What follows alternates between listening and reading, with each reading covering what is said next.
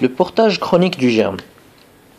Là, le mot chronique me rappelle quelque chose qui a duré très longtemps dans le temps. Et là, ça m'envoie vers un record du monde qui est celui qui, euh, est l'homme qui est resté longtemps, le plus longtemps possible, qui est euh, resté debout le plus longtemps possible, pardon. Donc l'histoire va tourner autour de cet homme. Cet homme, il s'appelle Monsieur Men, et il portait dans ses mains un tifo. Et dans ce tifo, il y avait plein de couleurs.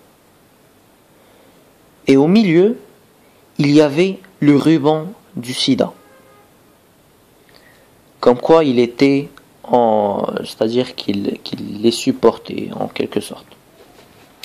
Donc, monsieur Men. Men, ça va nous donner méningite à méningocoque. Donc, euh, le tifo, le tifo, c'est ce que c'est ce qu'il y a dans les stades et qui est supposé représenter diverses images et qui est fait par les joueurs. Ça s'appelle un tifo. Là, euh, je, me rappelle du tifo par quelque chose qui est quadrillé. Donc, c'est fait de plein de petits carreaux. Ok? Les couleurs de ce tifo me rappellent le choléra. Et pour le ruban du sida, ça me rappelle le sida, tout simplement.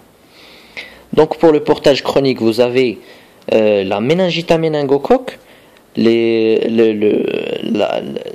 la, fièvre typhoïde, le choléra et le VIH.